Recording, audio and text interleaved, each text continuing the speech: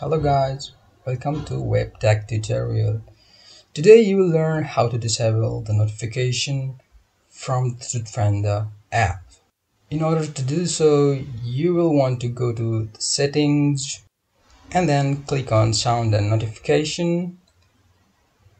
Again in this window, you will see another button called notification and then click on app notification. Now click on the TruthFinder on the next page, you will have to click on the block menu. After doing so, it will block any notification coming from the Finder app and it will no longer send push notifications to your device. Thank you.